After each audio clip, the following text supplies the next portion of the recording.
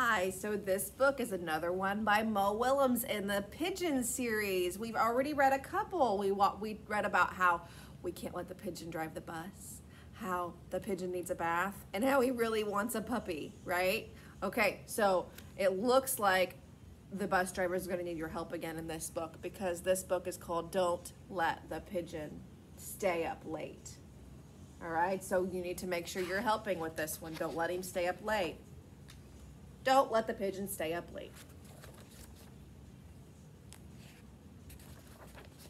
Oh, good. It's you.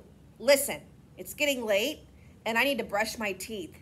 Can you do me a favor?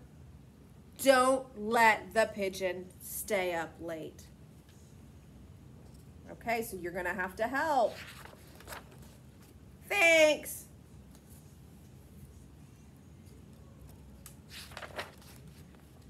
First of all, I'm not even tired.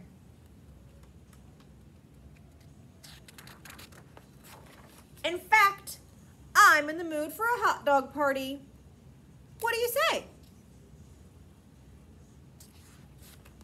No.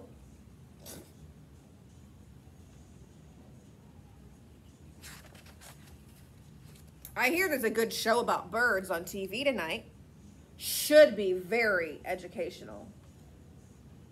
What are you telling, boys and girls? No. How about five more minutes? Come on. What's five minutes in the grand scheme of things? What? What?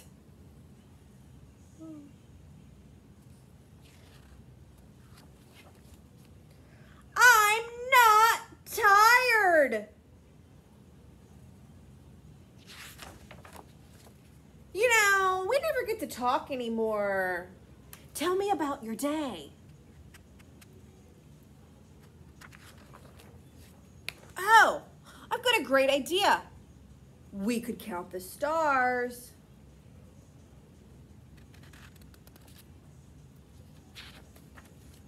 Can I have a glass of water? Studies show that pigeons hardly need any sleep at all. It's the middle of the day in China. I'll go to bed early tomorrow night instead. Hey, hey, ho, ho, this pigeon just won't go. Please.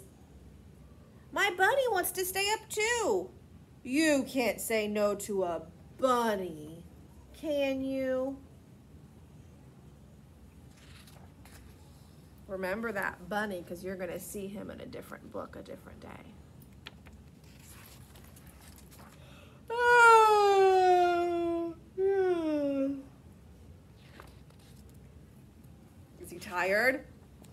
Are you going to let him stay up late? Okay, that was not a yawn.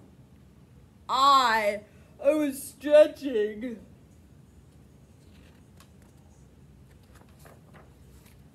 I'm hmm, 110% awake. You haven't heard the oh, last of me